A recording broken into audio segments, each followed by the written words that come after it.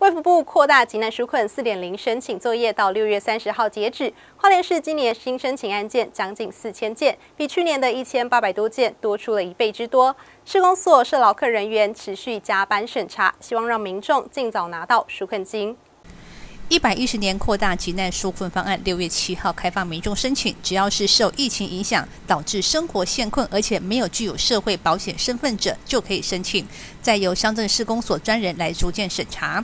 花莲市公所表示，今年度的申请件数将近有四千件，比去年的一千八百件多出了一倍多。去年中央开办扩大纾困来，去年一百零九年，花莲市受理了大概一千八百件的民众申请。那今年截至到今天六月二十九号，那花莲市的案件数已经到达三千三百件。那这还有含民众资本申请还尚未建档的数目。那很明显，今年的数量会比去年多，那有可能会突破四千件。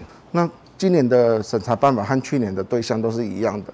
那它针对是你原先有在工作，那没有任何的就业保险，没有军工教农渔劳等社会型的就业保险。那因为受到疫情影响，那你减时减薪的部分的民众都可以提出申请。不过，在这一次的申办案件当中，有很多已经退休而且没有就业的长辈也提出了申请，加上基本排付制度，这些都必须逐一审查。说明是扩大纾困，那所以大部分的民众都会觉得说，希望能够来领取这个纾困金。那因为它首先的前提要件是你有在工作，受到减时减薪的影响。那这一阵子整理下来，发现其实有很多的长辈就是已经退休，那可能年龄是八九十岁，并没有在就业的，那也提出申请。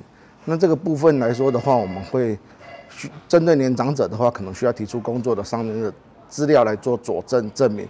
那这个同仁会逐一的审核。那这部分也就是让我们审核的时间会往后稍微的延误一点，请大家多多体谅。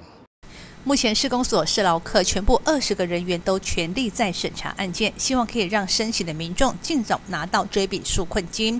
而如果想要知道自己的申请案是否通过，或者是要了解审查进度，可以透过卫福部因应疫情扩大急难纾困线上申办系统来查询。谢吕慧欢是报道。